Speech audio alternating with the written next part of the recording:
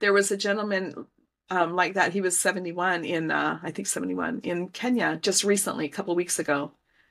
He had he had an arm that was paralyzed, and his legs both got scalded, burnt severely. But because he had no money, he couldn't get treatment, and it started rotting all the way into the bone. But the suffering they go through, and until someone's there to help, and same with the children in the orphanages, just knowing that somebody cares, that somebody's there for them. Yep. Like there's one one of our children's homes, they have about a hundred children. And it's an older lady who's blind. She and her husband have this mud home. They have a couple of little mud homes on this plot of land, and they have given this land to kids that had no place to live. And so they're they're packed head to feet on the floor by the rice and beans, you know, on the on the floor, just trying to scrunch them in to get them a place to lay on their mud floor. There was there was a young boy in Uganda. He was about an 11 year old. They were playing. The kids were playing, and he fell out of a tree. Now these kids are not nutrition. You know, they don't have the nutrition to be strong. They called me up. He was in the hospital, but the doctors wouldn't do anything. And while I was on the phone, he died.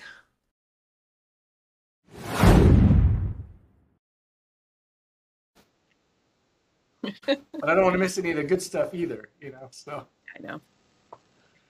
Awesome. All right. Well, um, I'll just introduce you by saying, "Welcome to the Entrepreneurial Odyssey podcast." Um, my name is Rob Ratliff, and this is Lori Lundeen, and we are here to talk about her foundation, which is the Lori Lundeen Foundation, right? Perfect. Yes. so cool we have been trying to get on this podcast for a while and it just seems like something that's always come up but man is this important. We really need to cover this stuff. So yeah. I'm excited that you're here and looking forward to hearing what you have to say. So um, why don't you just start by telling telling us a little bit about what it is that you do what is your foundation and how did you well let's not let's not start too much. Start with what is your foundation? What do you do? And then we'll backtrack and start talking about how it got started and all that fun stuff. Okay, go through the story. Um, so the foundation, the Lori Lundeen Foundation, is a global nonprofit organization. It's a 501c3, and we serve people all over the world who are in need. So um, our tagline is bringing nations together in service, unity, and love. And our process is different than any other organization. I don't know of any other one that is like ours. It is reaching out to the one in their unique need, serving individuals, families, organizations, helping meet that need, and then helping them become self reliant and get unstuck and, and want to give back. And so, what we're doing is we're bringing people out of poverty, we're helping them um, get unstuck from their situation, whether it's medical or food or whatever it might be, right? Whatever their needs are. And then we help them get to a point where they can start sustaining for themselves and having hope and light in their life. And then what normally follows is they want to join us and be a part of the giving and sharing, and it's bringing the nations together that way. We're currently in six countries, and I've got now it's over 25 countries with connections ready to open service. I could start serving in any of those um, whenever we're able to expand into them. So uh, all around the world, the globe, all around the globe. So it's beautiful. It's really beautiful. We we've you know we've taken care of um, medical needs. We've taken care of food, water, clothing, school supplies, school fees. We've rescued from natural disasters. Um, we have buried. We've provided burials, which I'll go more into in, in a little while, but We've taken people from the slums, helped them get in apartments and create a business so they can sustain themselves. We're building large projects, things like libraries and learning centers, training centers, um, orphanages, uh, garden spaces, agricultural farms. Um, those are things that we're working towards. And so there's a lot of different things. And, and then in the States, of course, we do serve the veterans and the homeless and the school systems. And we're going to be working with foster kids and doing different types of needs depending upon what country it is. There's there's just a variety of things that we get to do. So beautiful. Yeah, that's that's really unique. I you know I obviously have talked to you in the past and know a lot about more about what you do. So for me, it's, you know, when you're talking about these different things, but for those who are kind of tuning in and learning more about you here, I think it's important that we look at maybe some of the uh, background we'll start with, and then let's, I would love to, after that, we'll kind of dive into what are some of the particular things you've done for individuals and so we can look at exactly how impactful, because I feel like a lot of nonprofits out there, they, you know, we service people in this area. And, and it's like, okay, I understand that, but it's hard to relate until you really tell a specific story about a specific individual that you impacted and how you impacted them and how you helped them. And I think that's huge. So we'll get into that. But right now, let's, uh, let's go back and just talk a little bit about what was your inspiration for starting it and how did you get started? Because I think that's a really interesting story. I, I love it. So I want other people to hear about it. Shall I go from the beginning? Absolutely. So, as you know, um, Rob, my background is music and theater. I have a master degree in conducting. I've performed Carnegie Hall, Notre Dame. I conduct in the Bay Area here in California, orchestras, choirs, all kinds of things. And I've been a teacher of performing arts for 16 years. I, I taught every every course there is in music and every course there is in theater. I've done it. And I've done all ages from kindergarten up to 12th grade. And then working in the community and churches, I've done all ages. So um, it's been an incredible journey. And that really, I felt like that was my path and my calling. And um, I hit a point in 2012 where I was diagnosed with an incurable illness and I was given nine pills a day for the rest of my life. And I was told by the doctors that no matter what I did, it wouldn't make any difference. I would never get off the medication and I should never try. So I began studying while I was a teacher full time. And I learned that people with my illness were dying, had chemotherapy, some had their gut removed through surgeries. And I just like, I, I have to find a different path. None of those options were good to me, you know, and I sound good. No, no, it wasn't good. And it wasn't fun. It wasn't fun. And so I began to study and dive into health and wellness while I was still a full time performing arts teacher, which became very busy. But I, in that process, I became a board certified health coach, a life coach, which I call an optimal life designer, and a certified essential oil coach. That was through this journey that I've been on, right? And and I've been off all medications for over 11 years. Wow. So I was able to heal from an incurable illness mm-hmm. naturally. And I was able to find the cause of an illness that had no known cause, which it's just been a, an incredible journey. I'll just put it that way. Yeah. Uh, and it's been a pivotal moment for me and my life. So while I was in that journey and I was managing everything, you know, my symptoms, I was managing it all naturally. I was off all the medications for a few years. And in 2018, I hit a point in my career where it was becoming really stressful as a teacher. Um, performing arts teachers don't have any free time. There's no time freedom. Um, you've got classes all day, you've got rehearsals, you've got performances. It, it really is consuming of your time, which I loved it, loved it, loved it, but it was time consuming. And I knew that in order to heal, and with the stress I was dealing with in, in work environment for teachers, um, I knew something was going to have to shift. And then at the same time, my mother's health was spiraling very quickly. She was 90, and I knew I had very little time left, and I would need to help care for her. So I knew there was going to have to be a change. And I went to a, it was an International Association of Women's meetings that I would attend, and we had a guest speaker, and he came and he was offering a ticket if we wanted to purchase this ticket to an event. It was a four day event in San Jose, California and it happened to be a Tony Robbins event. And at that time, I really didn't know much about Tony. I hadn't experienced him. So I didn't know what I would get out of that, right? I know him now. I'll just put it yeah. that way. know him very well now. Now you know who he is. Okay. Just said my name, so I feel pretty proud. But no, he, he I, I knew, you know, and, and I live by inspiration. I really do. Everything I do, I, I live by inspiration. If I feel driven to do something, I do it. I take action.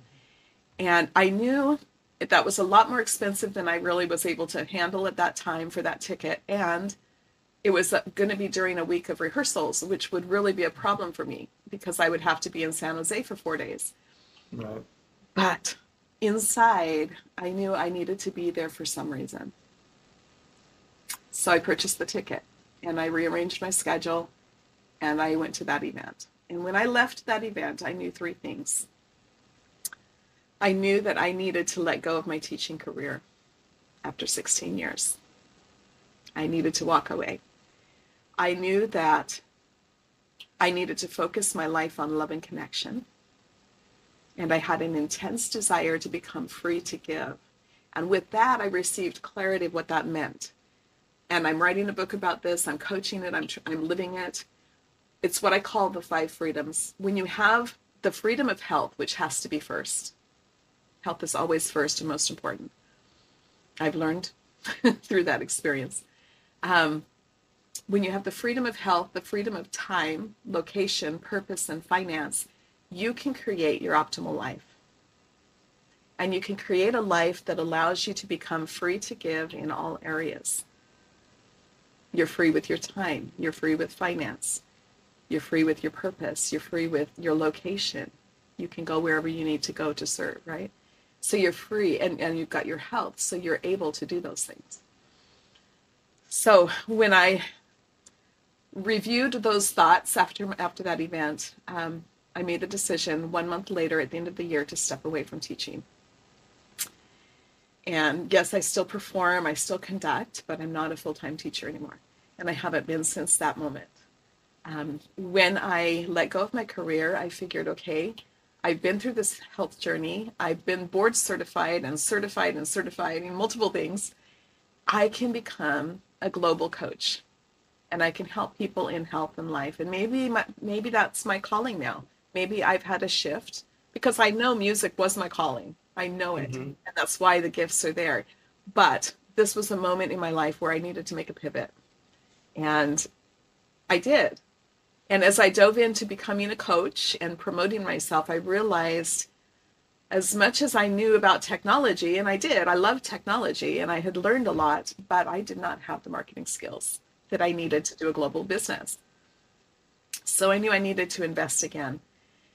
So I invested again. And the next four years, I spent with the industry leaders learning about how to build sales funnels, how to do social media marketing, how to do other aspects of digital marketing. And it led me into Pedro Adao's world of challenge marketing, which was the new industry. Now, he is the person that has been hired by Tony Robbins, Dean Graziosi, Russell Brunson, Les Brown, and many others to restructure their marketing strategy using his framework and model. And when I stepped into his world, he opened up an opportunity to become a certified challenge consultant, which is where we got connected. Right. Yeah. And I felt driven, I felt inspired that I needed to do this for some reason. So I said yes. And I was one of the few that did get certified. I spent three years almost every day with he and his team and time in his home being trained. And it was an incredible opportunity and gift, you know, and it's now has allowed me to not only coach in health and life and music, but now I can coach in business and marketing.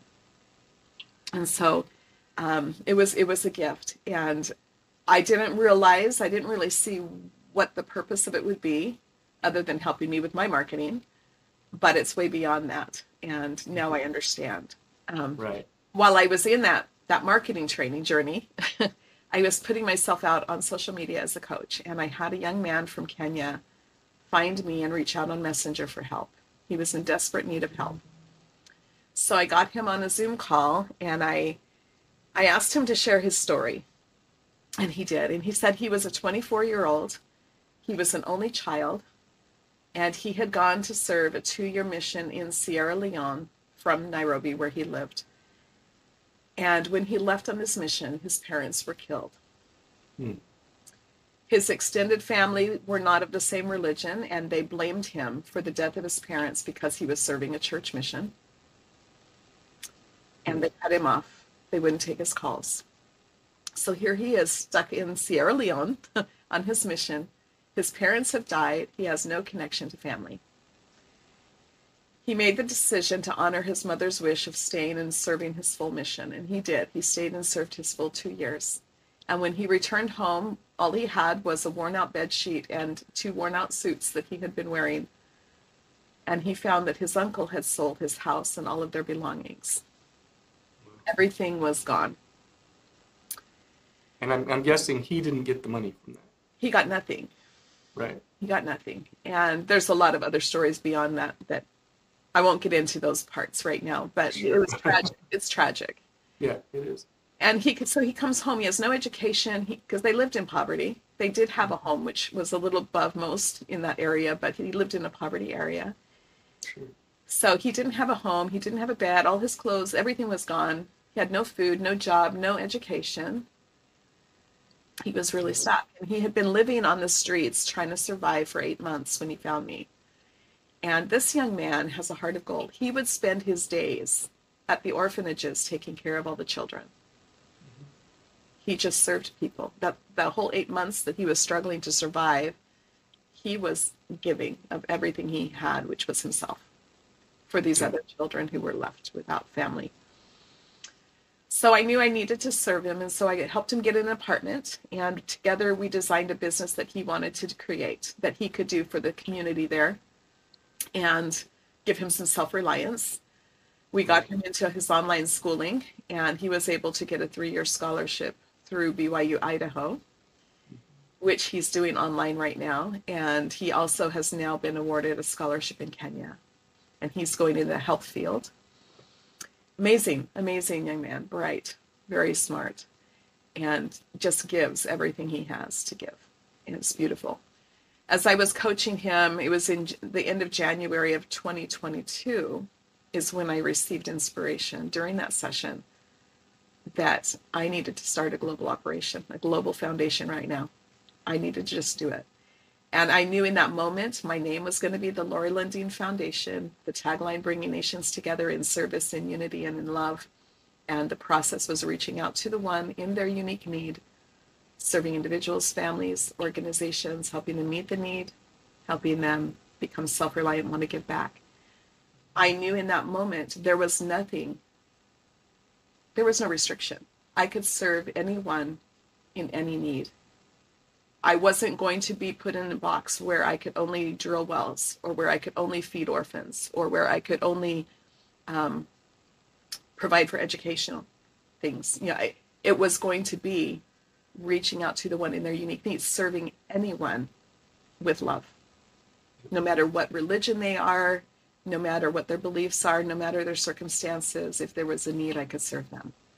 And two days later i was i was at a veterans dinner serving helping there because i do that all the time and i met a gentleman and i was telling him about this global foundation i was about to create and he had a connection to a consultant for nonprofits so he had me on zoom with her the next day and she became my consultant and one month later I, beginning of march i was official 501c3 Yes. and I took off to Scotland to meet a client. And then two weeks later, I was in Africa for three weeks. Came home for a couple weeks and went right back to Africa again for another three weeks. And I have hugged and served thousands, thousands of people that are now family for me. That we're. Well, when you, and we've talked about uh, you and I uh, have talked about me going, and you know, I could take my wife, and we could go to Kenya with you and kind of see the things you're working, the people you're working on. I, I've thought about, uh, you know, obviously I'll just take my phone camera, but video, using video to kind of tell the stories of different people and see how these uh, kids are living and the kinds of work that you're doing. And I just, I was just, as we are talking about that just now, I was thinking, I wonder how many other families would love to take a trip with you, you know, to Kenya or some of the other places that you serve and see what you do and contribute and help out. And I mean, that would be pretty cool. If you had like a, a service travel I've. I've, yeah, I've actually had a few people mention they would like to go when I go. Now, That's I do awesome. want to say something because what you see on the news, when you see the large organizations go in and they dump boxes Mm-hmm. of stuff and they leave, you know, it, that's just delivering the stuff and they leave. That is not the way I do it. yeah, right. what I do is I hug every one of them. I tell them I love them. As I hand the kids a treat or something, I I give each one of them their own item. You know, Mhm. It's very relationship building. I know these people. I have Yeah. hugged every one of them. I have told them I love them. And when I was, you know, when I was up in Uganda, up in the mountains, I was sitting in a mud home up there, and I was about to go and speak to about a hundred children and some adults as well were in there. And before that, they wanted to feed me dinner, right? So I'm sitting in this mud home, and all they have is a like a couple of plastic chairs. They have no furniture. They have no possessions. They have nothing. Right. They cook on a fire in a pot, and have very little food, right? So we're sitting there and having dinner together, and and I said to them, I said, you know, it costs a lot of money for me to travel here. I said, would it be better that I use that money to get you clothing and food and medical care and education, the things you need? Mhm. And they looked at me and they said, no. They said, you being here is so much more important to us. Hmm. And that is the love I felt the entire time as I traveled between countries, as I walked the street of the slums, as I sat in their mud homes. They were so grateful and so appreciative of me just putting myself there, being there with them. And, you know, letting them know they're valuable, that they're cared about, that they're loved, that we're equal. Those are things they don't ever hear or believe and feel, you know. They have so much faith and belief in prayer, but they lack hope. They lack light. They lack opportunity and resources. You know, and it's just, it's beautiful to be able to be that light, that Mhm. person that they can now have hope because they know you, right? And it's just been a beautiful journey. Uh, It's it's Well, really Yeah, let, let's talk a little bit about that too. I mean, when people are looking at um, fundraising, I mean, a lot of times I think about things like these big extravaganzas and they're trying to raise millions of dollars and that, kind which would be awesome. I mean, if we could raise a million dollars for your foundation, that would be great. But I think what's important to understand is it doesn't take a million dollars. I mean, five dollars, ten dollars, twenty dollars can go a long way when you're talking about serving people in Kenya, for example. Uh, I remember you were talking about needing some amount of money. I don't remember, it wasn't very much, but to send 30 children to pay for their books and education so they could go to school for a Yeah. year or something. And I- don't remember how much that was, but it wasn't very much. Well, it depends too on the level. I mean, the Mhm. the food itself is actually really a lot cheaper than you would expect. Um, school supplies for for some of the teenagers to get them into school to pay their fees and all their supplies is about two hundred dollars for a, a full term. But Per student, yeah, for the teenagers. But for the younger kids, it's less expensive. And Mhm. um, like for example, on the food with with paying for an orphanage, say you've got a hundred children in an Mhm. orphanage or children's home, they call it. Mhm. To pay for a hundred kids to eat and survive for a month is less than three hundred dollars right. Yep. for a Isn't month. Amazing. Right. you know they're eating rice they're eating basics but that's what they're used to having and that's survive it's survival for them Mhm. right Right. so it, it's really and, and yet these kids go four or five days with nothing hmm they go without food they have no food they have no food there's nothing Yep. And many of the orphanages not every one of them but but many of them have no adults there. They're just a place where kids are dropped off that are deserted. Hmm their parents have died or their parents can't take care of them anymore and they put them out on the streets you know and then they're just taken to these homes. And they just stay there and live their life until someone helps them get an opportunity to get out of it.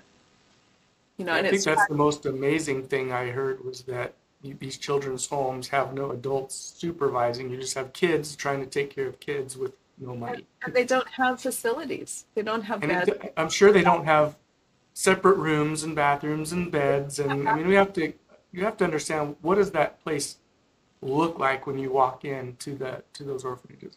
it's pretty shocking sometimes. And in Uganda, the, some of the kids they live on the land. Like there's one one of our children's homes. They have about a hundred children, and it's an older lady who's blind. She and her husband have this mud home. They have a couple of little mud homes on this plot of land, and they have given this land to kids that had no place to live. And so they're they're packed head to feet on the floor by the rice and beans, you know, on the on the floor, just trying to scrunch them in to get them a place to lay on their mud floor. That's where they mm-hmm. sleep. And some of them don't even get to sleep indoors. They don't have the ability to. So, I mean, it's unbelievable until you're there and witnessing it. It's just Mhm. unbelievable. Now, over these couple of years that we've been doing this, we've been blessed to save over 350 individuals through either malaria treatment, typhoid treatment, uh, getting life saving surgeries. We've saved some burn victims. One lady in Pakistan and a gentleman in, in Kenya were burn victims and were suffering for a long time before they could get any treatment because they had no money. It was it was Right. tragic. I mean, Right. burns all over the body, severe, but they And, wouldn't. and again, not that much money to treat. No, no, no, and, and and they suffered for a long time because they didn't have that little bit of money. Um, we've Yeah, also so- rescued a baby off the street. She was a six month old. We were able to get her into a home that loves her, and Mhm. uh, we provided almost thirty burials, and each of those have incredible stories, impacting villages. Just beautiful.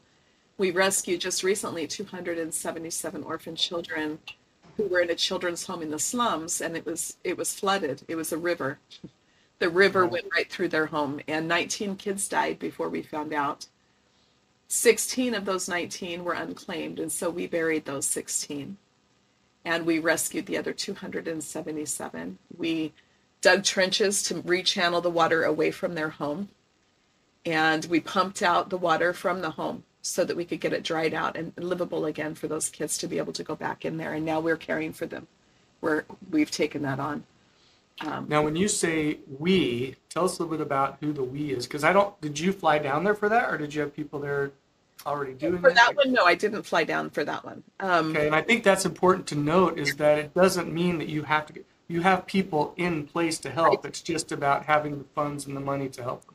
the young man that i that i saved at the beginning habil Mhm. he has become my global operations manager and my manager for kenya he is incredible he is Right. incredible he is the one with six teenage boys that i that we rescued they have joined our forces right? They have joined our team. Those seven went in and pulled out the 277 children. They organized digging the trenches to get the water away. They went and got the pump and, and pumped out the water from that home. Mm-hmm. They they got the food and fe- and fed cooked the food for over 800 of our 1100 children that we provided christmas for that we provided a meal and a beautiful game day and oh, it just was it impacted the whole community what we were able to do. It was beautiful. But they're the ones doing that. They're the ones going into the children's home and taking care of the kids helping get kids to the hospital. Habil is the one that took care of all the burials in kenya. Even when he was dealing with malaria himself, Mm. he was dealing with burials of kids that died from malaria.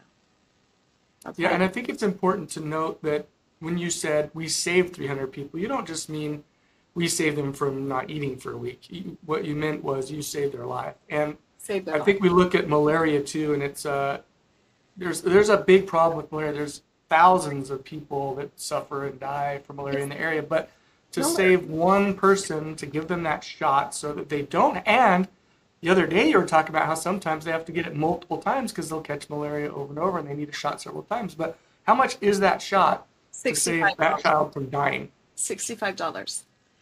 Right? And let me tell you about my first burial. yeah. When I was there the first trip, I met a young boy. He was 11.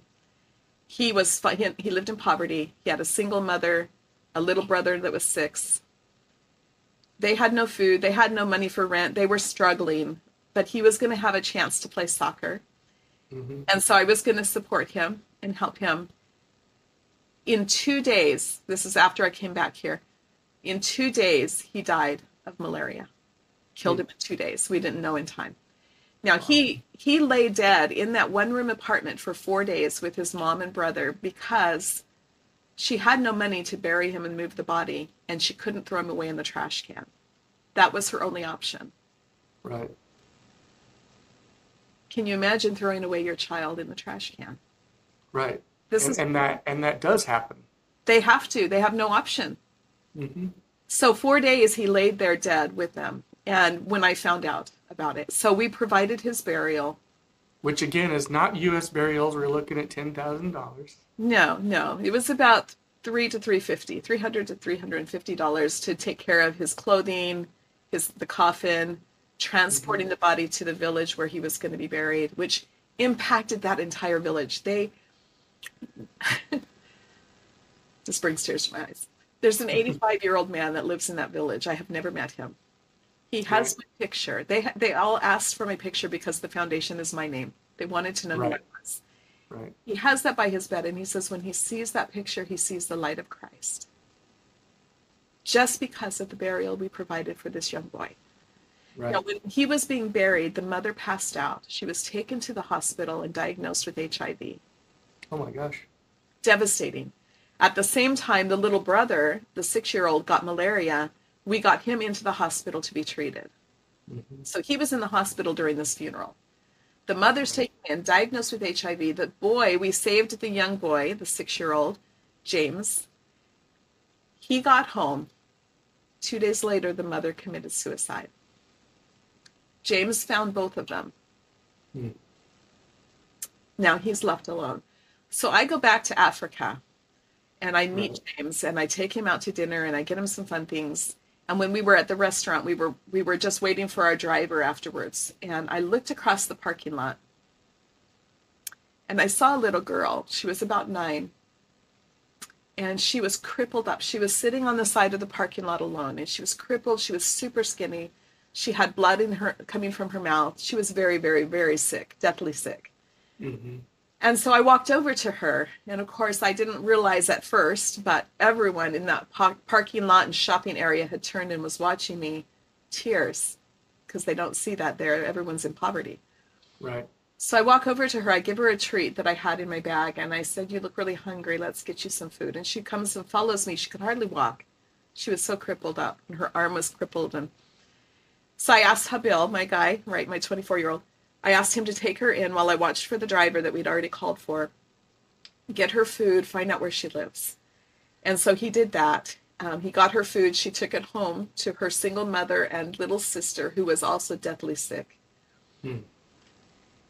which we didn't realize at that time. Oh no. And he went back and found her again. And then he went to their home in the slums. When he got to that home, there was nothing. It was a little shack in the slums. You know, the shacks, if we could only imagine, right? Unless you've been there and seen it, we don't really realize how bad it is. Right. They had no beds, they had no stove, they had no toothbrush, they had zero, they had nothing. hmm They had two girls who were deathly sick and a single mom who was not well. Shortly after that, little sister dies. Mm. So we provided her burial. She was my second burial. And we took this mother and this little girl I found, Cynthia. We took them and got them in an apartment. We got the mother a business going. She wanted to do beadwork. She has a beautiful gift with jewelry making. And so she's thriving with her, her business now. That's great. Her daughter, we got medical care. She's the top in her school. She's never had education, but she is the top student in her school. And she's all well now because she's had the medical care. Yeah. we What about the crippling? The the, the crippling. She's okay. She is perfectly fine now. She was just deathly ill. She was very, and, very and sick. malnourished and hmm Yep. Yeah. So that's you know that's kind of how we work it. We find and are driven and led to people specifically that we need to serve. And Habil is the same way. He'll find people that we need to serve, and we will bring them into our fold, right? And um, you know, we've I was saying we've got those that we've rescued and saved. We've we've provided thousands of children with medical care, food, water, clothing, school supplies, school fees, both in orphanages and, and individual families that are in need. Um, we're building a library and learning center in Pakistan for children to be educated over there. Mhm. We are um, working on building a training center in Uganda for single mothers because there's a hundred plus, I mean, there's way more, but we have a hundred that we know of um, single moms that are having to be ladies of the night. They're on the streets because they have no education, no job opportunities, and they have family. They don't they don't know how to provide, right?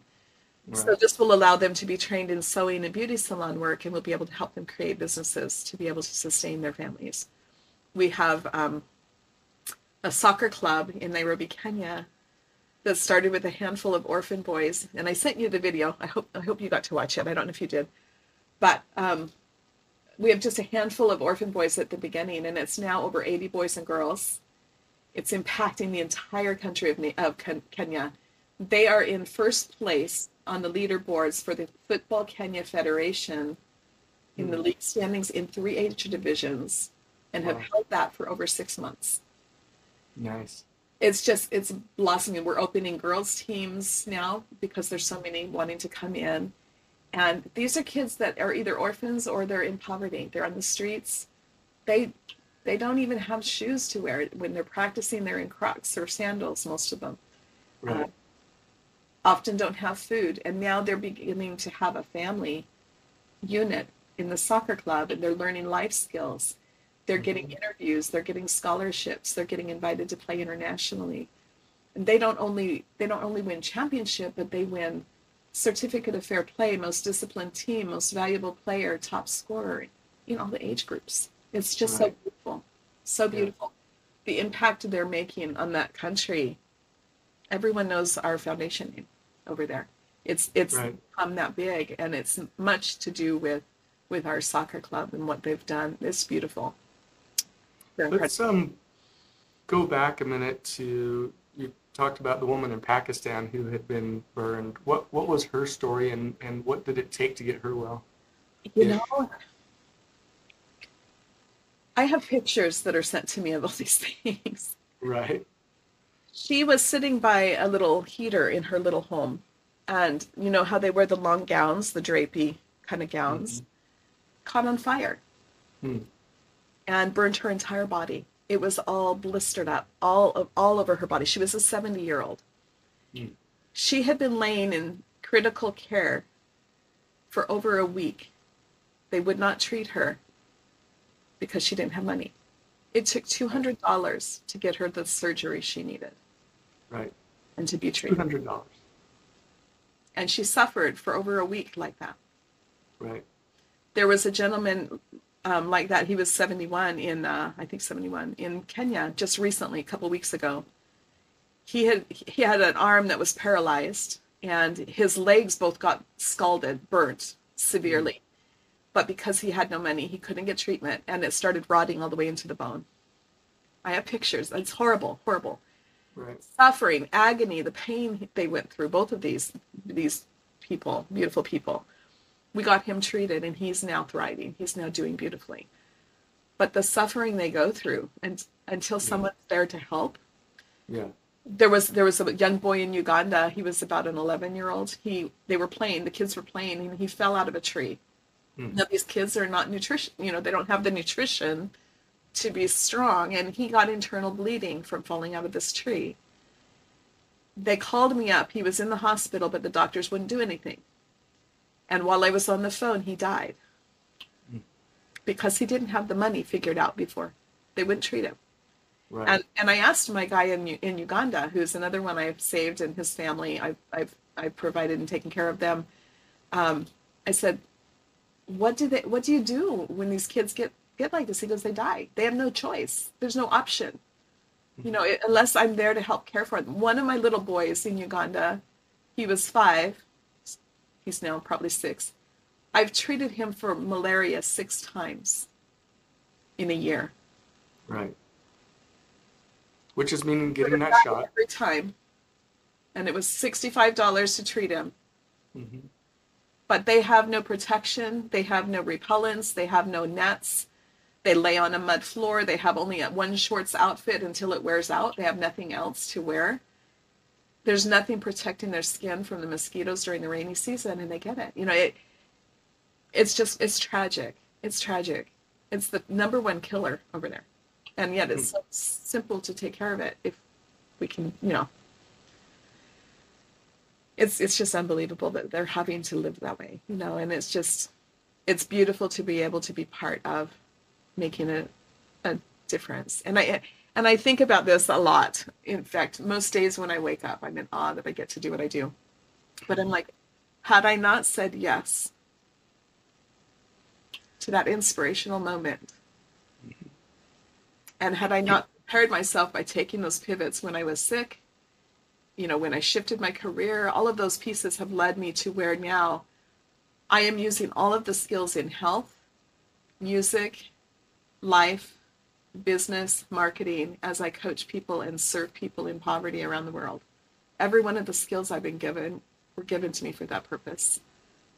And and when I came away from that event and I knew I needed to focus on love and connection, mm-hmm. for the past six years, I have focused on love and connection. And that is what prepared my heart to say yes to all of this. That is what allowed me to love people the way I love people now. Mm-hmm. It is so different than I did before. Right. It's not even, I mean, it, when I got that inspiration, I was like, why? Because I loved people. I really thought I loved people at that time, but it's nothing like I do now. And yeah. the connections, and it's for the purpose of this foundation. So tell me where you see the foundation in like five years. I see us growing to other countries. I see us growing to other countries. I see the soccer club expanding out to other countries and maybe even other sports. Mm-hmm. I see us having um, built an orphanage in, in for sure in Kenya, but also maybe in Uganda that is going to have, and I've already designed this. I've already got the guy to run it in Kenya. I've already got the person right. trained. Um, it's going to have not just a, a, a nice facility for these children, but it's going to have another section on this land that's going to be a kids club, an educational center, library, where they can have resources for homework. They can be trained. They can mm-hmm. get educated they can have a library resources. They can learn music. They can learn sports. They can learn art. Have those opportunities that these kids don't have. You know, at the beginning of that soccer video that I was telling you about, it talks about the joy that these kids had when they first got the first ball I sent over to them. They had never had a real ball. Hmm. And to be able to kick and play soccer with a real ball was massive for them. Right. And to get custom uniforms.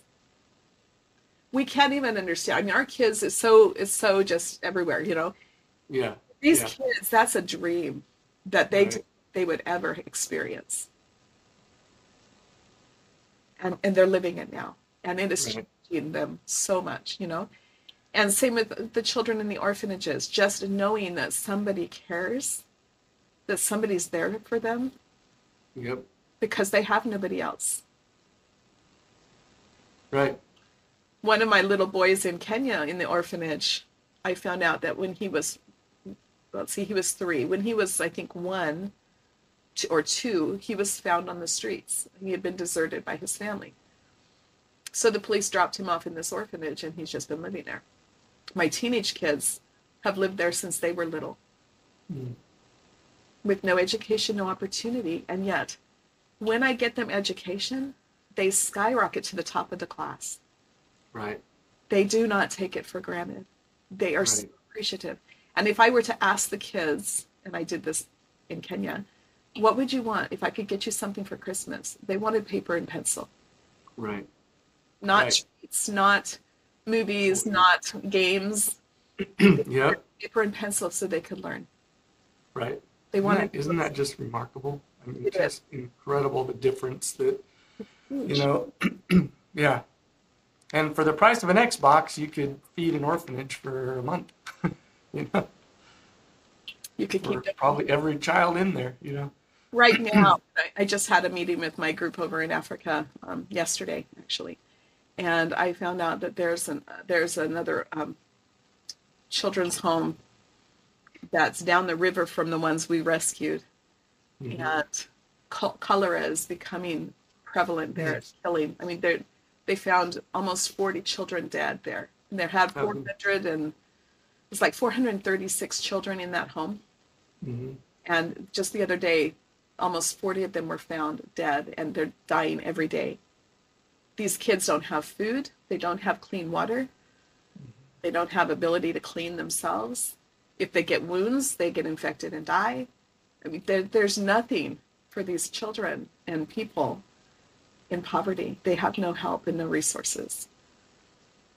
And, it, and it's amazing how you're how you have set up the organization so you're just like on the ground with these individuals looking for people who need help. It's Yeah. it's not that you're just doing some kind of drop of food somewhere in a food bank. I mean, you're literally tracking down separate individuals and families in need and making sure they're getting the things that they need, which I don't think a lot of organizations do I necessarily. don't, I don't know of any that do it this way. It's Yeah. very different. But like I said, I was inspired to do that, and I and I know this is the way it needs to be. And it's it's just really it's beautiful to be able to see these people. I mean, even that mother and little girl that I saved and got them into an apartment and helped them. They now help. They help cook for meals for the orphanages when we do special days of dinners and things like that. They come and help. So they're That's all great. kind of coming together and like Habil, he's he's my leader there. Um, they go out. He he and my six teenage boys, right? They go to the hospital. They they did this on their own. They told me about it after the fact. They actually got some T-shirts, so they were matching as our team, and they go into the hospital and they clean the building. They clean the facility. And for that, in return, the hospital is giving them mosquito nets to take back to our orphanages so the kids can be protected Nice. for free.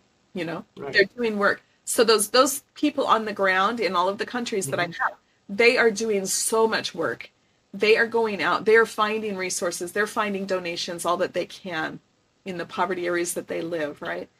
But they are working so hard to take care of these things and to find the people that we mm-hmm. need to serve, and we mm-hmm. work together to make those things happen. So and and you know when it comes to getting money over to them, I do it directly to my managers, and then my managers go and buy the items and they take them in so that they're delivered directly to the people. It's not just throwing the money out to whoever needs it. It's it's very done through the management teams, and Right. and that's beautiful because then we have those relationships. We get to Right. know the people we're serving, which is so important. We get to see their need and make sure that we're meeting the right needs. And that's what I do when I'm over there. I get to know Right. everyone we're serving. I make sure that I know what their needs truly are so that we can serve them best and help them get out of their situation. Well, I'm excited to go down there with you. I, I think it'd be great if other families, you know, could come down with you and kind of show and Yeah. have, uh, even if it's a time to, I guess, learn about what you do, but also to work maybe a little bit. To, you know, if there's things that need to be done around the orphanage. If we get the funding together, some of those projects that I'd like to do would be great to have help down there. Mhm. I mean, if we're building garden spaces, agricultural farms, and training centers, and and we're building the orphanage and the and the children's center next to that. I mean, all of that's going to take um, resources, and once we have the resources, we'll dive in and start doing it. And so, that would be amazing to do a trip where we can kind of put that together and make those things happen. Um, Wow. When I when I go, I'm also planning to do a boot camp for the soccer club to let the kids get Nice. trained by some people here, and I'm also going to be um, hopefully opening our first tournament that we will host. So these kids will have the opportunity to now be the host of a tournament, which is really exciting for them. Um, but yeah, it's it's it's just been amazing. When I was in Uganda, they had me speak on the radio station and in the villages and different churches and different communities, and just it's just spreading light and love Right. you know? and then you can learn and see and, and know exactly where the needs are. And my goal is as i open all those other countries and i can i can name them all for you if you want to hear them all. There's some, it's amazing. Mm-hmm. But as i open those i plan to travel there because i want to know who i serve with and who i'm serving i want to know them directly i want to build those relationships and i think that's important um, that we do that so So tell me about the little girl in the photo on your website. Um, first of all, what is the website? oh Lori Lundeen The Lori- Foundation. uh, LoriLundeenFoundation.org. And it looks like Landin, if you're Yeah. confused about the spelling, Yep. the Lori Landin Foundation.org. Okay, so um, yeah, that's the site. And the little girl at the beginning that's praying, Mm-hmm. In the classroom, she's like my little, sweet little girl, yes, she is one of my kids in Pakistan. They are trying to be educated. Mhm. they didn't have any resources. We we have a gentleman who is doing this. He's been trying to do this all all along, trying to work and do it, but he doesn't have the resources available either. And so he and he lives there, but he takes care of over 50 children and he's trying to educate them. And so we talked and decided that we would build a foundation library and learning center for these children. And I need the resources to, to build it. I have only gotten a little bit for them so far, and I feel bad because there's so much I want to do for them. And these children just want to be educated, they want to learn. They need paper, they need pencils, you know, they need. We just got them some little chairs and tables because they were on the floor, they had nothing and so we're we're working to eventually build a beautiful library and learning center there when we can get the funding together. But we're just gradually adding resources so they can at least continue learning and and just build on that. And so she's one of those children in my library and learning center in pakistan who is uh, praying for an education. Praying for an education and they do pray they pray for me all the time that we can help and make this work for them because they have no one to turn to Right. no one to turn to and so it's beautiful and that's another trip i plan to take very soon is to go to pakistan and and be there in person um, i haven't yet gotten to go there and i'm, I'm excited for that journey i would love to Yeah. meet these beautiful children Yeah.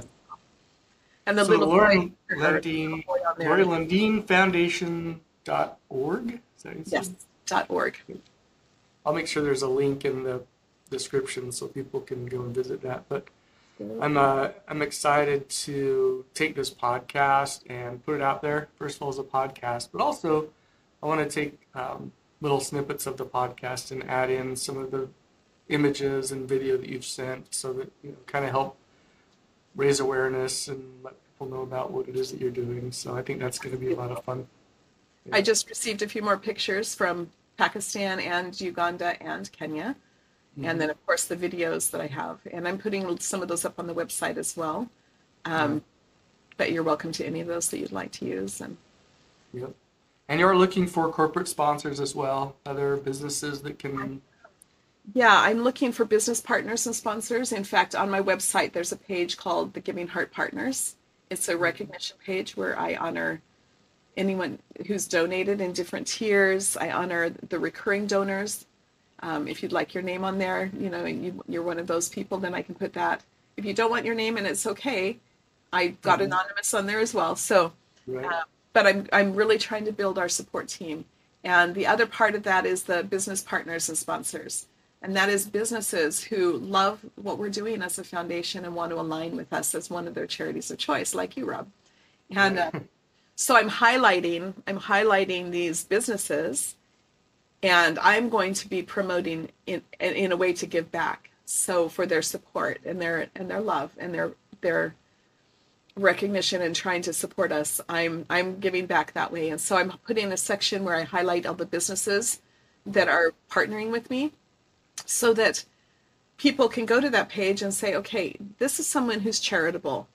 This is a Mhm. business that has what I need and they're charitable and they're part of this foundation. And I love that about this, you know, because some Mhm. people like to work with giving people. And so Yep. this will give give that recognition and honor that they are they're partnering with us and i'm going to be promoting them as much as i can um, there's also a testimonial section where some of them have written testimonials and that's also going to be shared in my social media and i'm trying to get their word out so that they can not only build their business but just to, to honor and, and acknowledge my gratitude for for whatever it is they're able to help support us with. So any amount is is greatly appreciated. You know i have a link that allows you to do a one-time donation or you can set up a recurring donation in different frequencies. You could do annually you can do monthly you can do weekly however you want it to be and whatever amount you want. Yeah. it's very customizable. And so whatever i mean anything. And and like i've been saying this past few weeks as i've been talking a lot about this page is this is really the greatest gift i can give Yep. to be able to be a part of something that, that is so massively impactful. It's Right. global. It's it's it's changing, and like you said, it's saving so many lives. And there's nothing better that I could give someone than to be a part of this. Right. I live it every day, and I'm so grateful. I'm so grateful. Right. So, to share that out is really important to me. And I would love to speak with anyone that has questions, anyone that wants to be a part of it in any way. Um, I would love to do a Zoom call with them and talk.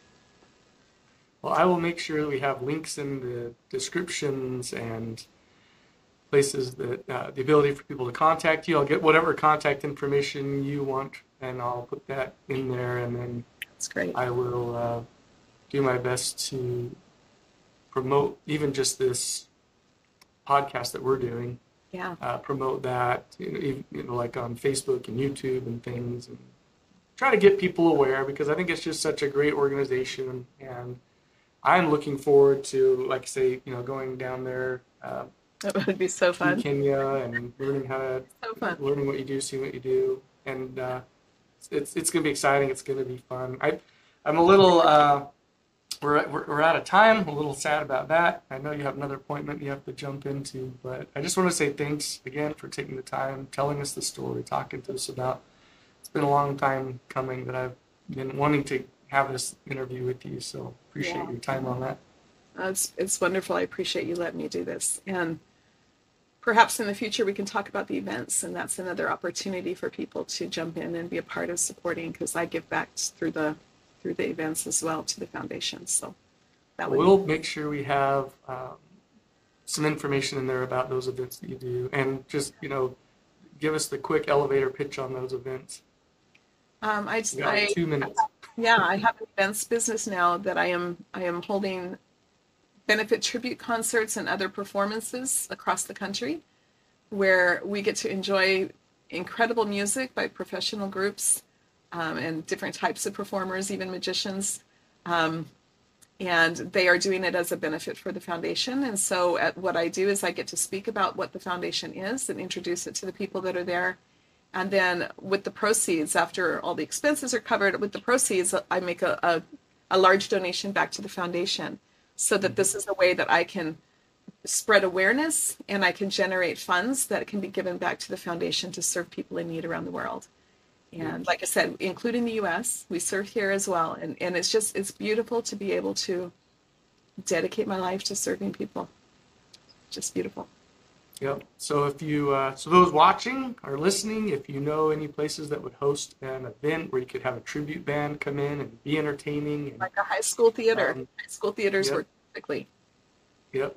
Then I would love to uh, have you contact Lori on that and see if there's some ways you can get your school or public event um, arena, Yeah. for lack of a better word, to to reach out to her and let's try to get some of those events booked. I think it sounds like a it's a lot of fun. It's a great way to learn more about your business and donate to that cause. And I again, I think it's just amazing that you're doing this. I love the fact that it's so hands-on that, you know, the money that people send in are going directly to these children and saving lives and feeding kids. And I think that's so important to note. So Yeah. thank you again for your time. I'll let you get on to your other call, your other meeting. But um, Thank you, Rob. Lori Lundeen, thank you. You're awesome. Okay, I will talk to you a little later. All right. Thanks so much. You bet.